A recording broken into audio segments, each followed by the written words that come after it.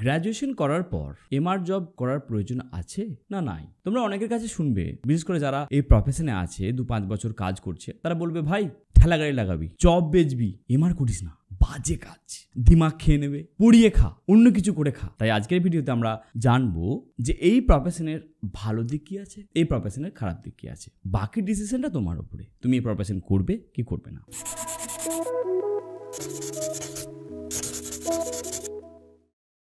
এই প্রফেশন সম্বন্ধে বলার আগে একটা ইনফরমেশন তোমাদেরকে বলি। দু হাজার বাইশ সাল অবধি আমাদের ইন্ডিয়াতে এই প্রফেশনে দশ লক্ষেরও অধিক এই প্রফেশনের সাথে যুক্ত আছে মানুষ। তাহলে সংখ্যাটা কিন্তু কম নয়। ফার্মাসিউটিক্যাল সেলস প্রফেশন যদি না থাকে, তাহলে এই যে গ্রোয়িং ইন্ডাস্ট্রি কিন্তু গ্রো হতে পারবে না। সেলস পার্সনের রিকোয়ার আছে। এবার আমরা দেখে নেব যে এই প্রফেশনটা আমার জন্য না অন্য কারোর জন্য। প্রথমে আমরা জানব যে এই প্রফেশনের বেনিফিট দিক কি আছে, যেটা অল টাইম বেনিফিট বলা যেতে পারে। আমরা যদি তুলনা করি অন্য কোনো সেক্টরের দিক থেকে প্রাইভেটের জন্য বলছি, আমি সরকারের জন্য বলছি না, এতটুকু আমরা ক্লিয়ার আছি বা এতটুকু আমি তোমাকে আমি আশ্বাস দিতে পারি, যে স্যালারিটা পাবে তুলনামূলক ভালো স্যালারি পাবে। অন অ্যান অ্যাভারেজ আজকের ডেটে যে কোনো গ্র্যাজুয়েশন করা স্টুডেন্ট ষোলো থেকে আঠেরো হাজার টাকা পাবে।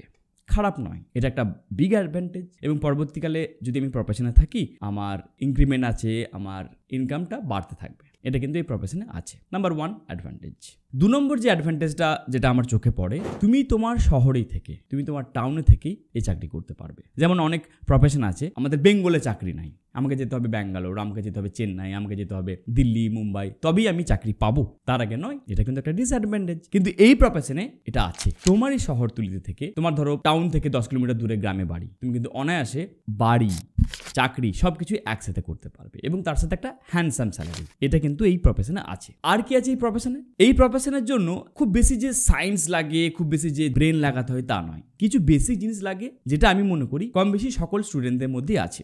যে কোনো নর্মাল গ্র্যাজুয়েশন করা স্টুডেন্ট এই প্রফেশনে আসতে পারে। এই প্রফেশনের জন্য লাগে কয়েকটা বেসিক জিনিস। এক লাগে তোমার কনসিস্টেন্সি তোমাকে কন্টিনিউ ডক্টর ভিজিট করতে হবে কেমিস্ট ভিজিট করতে হবে স্টক ভিজিট করতে হবে, ওখান থেকে সেলের জেনারেট করতে হবে। কোম্পানি একটা প্যাটার্ন দিয়ে দেবে। প্যাটার্ন অনুযায়ী চলো সিস্টেমটাকে বোঝো, কাজ করে যাও, বাস, বিন্দাস। তোমাকে আলাদা করে ব্রেন লাগাতে হবে না। যার ফলে অনেকে আছে যারা খুব বেশি মেন্টালি ভাবে অন্য কিছু ভাবতে পারে না। ক্রিয়েটিভিটি কিছু চিন্তা করতে পারে না। একটা সিস্টেমকে বোঝে সিস্টেমে কনসিস্টেন্সিটা কাজ করতে পছন্দ করে। এই ধরনের ক্যান্ডিডেটের জন্য বলব খুব ভালো হবে এই প্রফেশন এবং যেটা আমি দেখেছি, ধরো, কোনো একটা একদম জেনারেল পাস কোর্সে পড়েছে। তাহলে পাস কোর্সে পড়ার পর যখন ওই স্টুডেন্টটা এক দু বছর পর তিরিশ হাজার, পঁয়ত্রিশ হাজার টাকা স্যালারি পাবে, তো তার মনে হবে যে আমি আমার যোগ্যতা থেকে অনেকটা বেশি কিছু অ্যাচিভ করছি। তাহলে এটা একটা ভালো দিক আমরা ধরতে পারি। এছাড়াও যদি আরও কয়েকটা ভালো দিক দেখি কি আছে না কোম্পানি তোমাকে মিটিংয়ে ডাকবে, তুমি অনেক কিছু রিল্যাক্সেশন পাবে পার্সোনাল ডেভেলপমেন্ট আছে আরও যে কয়েকটা অ্যাডভান্টেজ ধরো তুমি ডাক্তারের সাপোর্ট পাবে। তোমার বাড়ির কারোর প্রবলেম হলো, তোমার ধরো কোনো একটা ডাক্তারের সাথে ভালো রিলেশন হয়ে গেছে, ওনার সাথে তুমি ফ্রিতে কনসাল্ট পেয়ে যাবে। আর ধরো কিছু ওষুধের ক্ষেত্রে যেটা হয়, ডাক্তারবাবু আপনার একটা ওষুধ লিখেছেন, তোমাদেরই কলিগদের কাছ থেকে সেই ওষুধটা তুমি ফ্রিতে অফ কস্টে পেয়ে যাবে। তাহলে এই ধরনের কিছু অ্যাডভান্টেজ আমরা পাই এই প্রফেশনে থাকলে। এই প্রফেশনের যে বর্তমানে যে বিগেস্ট প্রবলেম যেটা অবশ্যই একটা চিন্তা কারণ হয়ে দাঁড়ায় কম্পিটিশন এত কম্পিটিশন বেড়ে গেছে। প্রতি দশ বছরের মধ্যে কম্পিটিশন তিন ডবল চার ডবল দশ ডবল বেড়ে যাচ্ছে। প্রতি মাসে মাসে, প্রতি বছর বছর নতুন নতুন কোম্পানি লঞ্চ করছে। কম্পিটিশন যেহেতু হাই উইদাউট হার্ড ওয়ার্ক তুমি কিন্তু সাস্টেন করতে পারবে না। মানে প্রথম দিন থেকে জয়নিং করার প্রথম দিন থেকেই তোমাকে সেলফ প্রেসার পেতে হবে। এভরি ডে তোমাকে চাকার মতন ঘুরতে হবে। একটা র্যাট রেসের মধ্যে কন্টিনিউ তোমাকে ছুটতে হবে। তুমি যদি না ছুটতে পারো, চলো, আসতে পারো। আর এটাই ঘটে যখন কোনো এমআর জয়েন করে এই প্রফেশনে কোম্পানি এক দু মাস পরেই প্রেশার দিতে থাকে। ছেলেটা বুঝতে পারে না যে আমাকে কাজটা কি। ডক্টর চেম্বার বুঝতে বুঝতে তো দু মাস লেগে যায়। বা তোমার কি টেরিটরি কীভাবে কাজ করতে হয় এটা বুঝতে বুঝতে দু থেকে তিন মাস লেগে যায়। আর তিন মাসের মধ্যেই সিনিয়ররা বলতে থাকেন আর এস এম বা জেড এস এম বলতে থাকেন সেল কই? তো আমি ডাক্তার চেম্বার বুঝব না সেল বুঝব?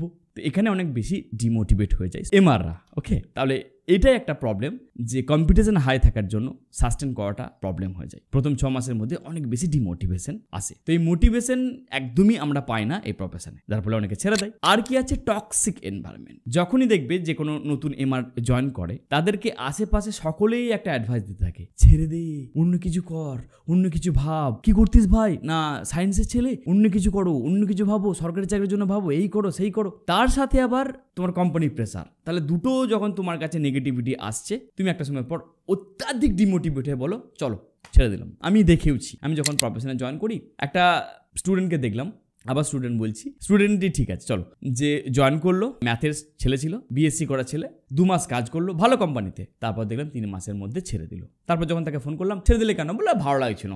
তার মানেটা কি? তার এনভায়রনমেন্ট অনেকটা বেশি তাকে ডিমোটিভেট করে ফেলেছে। এটা একটা রিজন এই প্রবলেম আমরা দেখতে পাই। আর একটা বিগ প্রবলেম যেটা একদম বলা যেতে পারে ডার্ক রিয়েলিটি বড় কোম্পানি একটা প্রবলেম ক্রিয়েট হচ্ছে। যে কোনো বড় কোম্পানিগুলোতে অ্যাডজাস্টমেন্ট একটা কনসেপ্ট এসে গেছে। ধরো তুমি একটা কোম্পানিতে জয়েন করেছ, ভালো কোম্পানি বড় কোম্পানি স্যালারিটাও ভালো দিচ্ছে, তা সেখানে কিন্তু অ্যাডজাস্টমেন্টের গল্প আছে। টার্গেট ফুলফিল করার জন্য তোমার স্যালারির পাঁচ থেকে ছ হাজার টাকা চলে যাচ্ছে। এবার তুমি এখানে আরও বেশি ডিমোটিভেট হয়ে যাচ্ছ। নতুন নতুন জয়েন করে তোমাকে যদি চার হাজার টাকা, পাঁচ হাজার টাকা অ্যাডজাস্টমেন্ট করতে হয়, তো তোমার জন্য কখনোই ভালো নয়।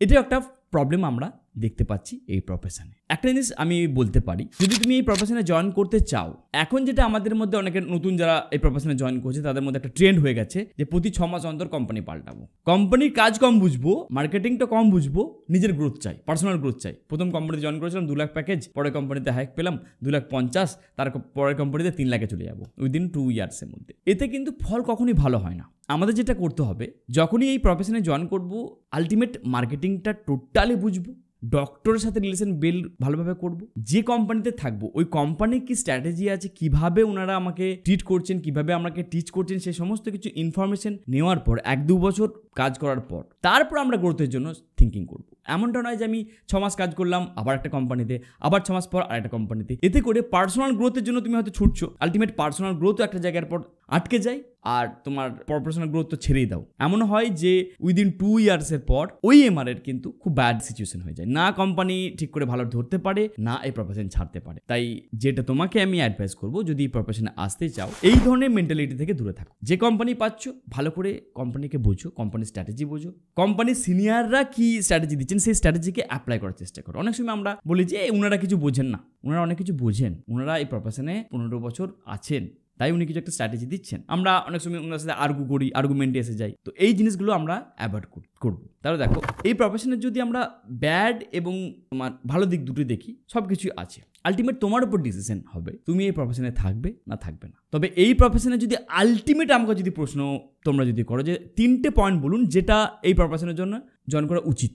প্রথম বলব, এই প্রফেশন তোমাকে মেন্টালি এবং ফিজিক্যালি অনেকটা স্ট্রং করে দেবে। যেটা পরবর্তীকালে তুমি যদি যে কোনো অন্য কোম্পানিতে অন্য প্রফেশনে সুইচ করতে চাও, তাতে তোমার জন্য বেস্ট হবে। যে কোনো কাজ করতে তোমার জন্য সহজ হবে। নাম্বার ওয়ান নাম্বার টু তোমার পার্সোনালিটি হান্ড্রেড পার্সেন্ট চেঞ্জেস আসবেই আসবে। তুমি যখন প্রফেশনে জয়েন করবে, তোমার যে বডি ল্যাঙ্গুয়েজ তার একদম একশো আশি degree body language turn over হবে। তো এই একশো আশি ডিগ্রি টার্ন ওভারটা হওয়া দরকার আছে যদি আমরা যে কোনো অন্য প্রফেশনে কাজ করতে চাই। আমাদের যখন আলটিমেট বাড়ি থেকে বের হব, আমাদেরকে কমিউনিকেট করতে হবে যে যে কাজই করি না কেন। সেই কমিউনিকেশন স্কিলটা তোমার বেস্ট হয়ে যাবে। তিন নম্বর বিষয়, তুমি এতটাই মেন্টালি স্ট্রং হয়ে যাবে, এতটাই প্ল্যান ওরিয়েন্টেড হয়ে যাবে, পরবর্তীকালে যে কোনো কাজ করতে গেলে তুমি প্ল্যান জিনিসটাকে বুঝে যাবে। অ্যাডভান্স লেভেলে কাজ করার চেষ্টা করবে। কারণ একটা স্টুডেন্ট যখন এই প্রফেশনে জয়েন করে, তার কাছে কোনো সিস্টেম থাকে না। সে জানে না গোল কাকে বলে। সে জানে না প্ল্যানিং জিনিসটা কি। কিন্তু এই প্রফেশনে এক দু বছর কাজ করার পর অন্য কিছু যদি তুমি করো, সেখানে কিন্তু প্ল্যানিং ব্যাপারটাকে তুমি ইস্যু করতে পারবে। তুমি পেপার ওয়ার্কটা বুঝে যাবে। পেপার ওয়ার্ক কাকে বলে? এটা তোমার কাছে আইডিয়া ক্লিয়ার থাকবে। আলটিমেট ডিসিশন তোমার হাতেই থাকবে। এমআর করে খেতেই হবে। তারও কোনো মানে নাই। আর তোমার যদি মনে হয় যে এই প্রফেশনে আমি জয়েন করে দেখি, কীভাবে এই প্রফেশনে কাজ করে সব কিছু জানতে চাই, তো তার জন্য একটি সুখবর আছে আমার কাছে। আমি একটি কোর্স লঞ্চ করেছি, এই কোর্সের লিঙ্ক ডেসক্রিপশনে দেওয়া আছে। ওই কোর্সের মধ্যে এই প্রফেশন সম্বন্ধে এই টু জেড তোমাকে আমি শেখাচ্ছি এবং এটাও তোমাকে শেখাবো যে কীভাবে প্রফেশনে আগামীতে নিজেকে সাস্টেন করতে পারবে। এরকমই ভিডিও পাওয়ার জন্য আমার এই চ্যানেলটি সাবস্ক্রাইব করো আর লাইক শেয়ার কমেন্ট করতে ভুলো না। পরের ভিডিওতে আবার দেখা হচ্ছে। Thank you very much